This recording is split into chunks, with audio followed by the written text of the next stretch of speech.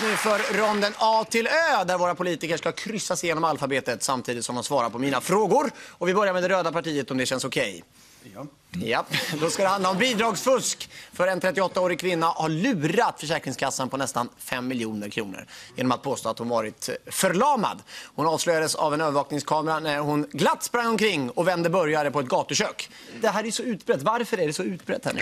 Alla tycker väl att det är helt okej. Eh, Så länge inte hamburgaren kostar 5 miljoner så tror jag att de flesta tycker att, det, att hon får stå och vända på Men det. vad ligger en hamburgare på idag? Bingolotto-priser alltså. Ja, Man vad är det då? Caesarsalladspriser kan Ja, man men säga. vad är summa vill jag ha? Delvis kan man säga att summan liknar ett högt torn av stenar som man har byggt. Alltså. Ja. Eh, det är en dålig liknelse, men delvis kan man Sjuk, säga så. sjukt dålig Alltså, liknelse. ja. Men hur ska vi få bukt med det här fuskandet då?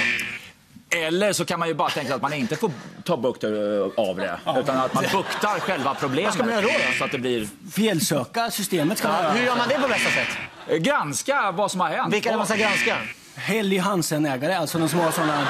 Varför ska man göra det? Inte bara dem, jag tycker att vi kan ta andra också. Men just Helly Hansen-killar brukar ju kunna vara lite luriga. Vad, vad, är, vad är det vanligaste felet eh, man, man brukar göra då?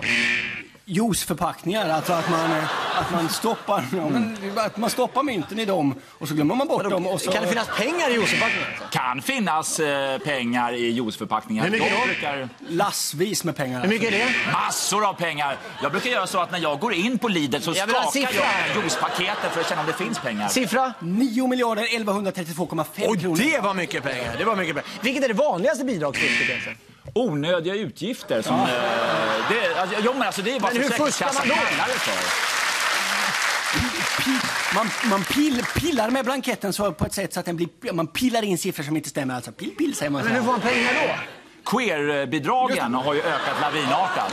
Hur får man ett queerbidrag?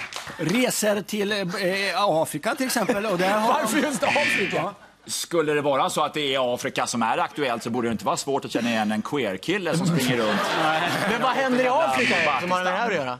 Tallbarr eh, hugger man och... Eh, nej, man Det finns väl inte tallar i Afrika? Usch, nej, det gör det inte. Det gör det inte. Det ska jag inte vilja säga. Varför sa du så då? vuxenfel kan man säga. det. Vad är ett vuxenfel?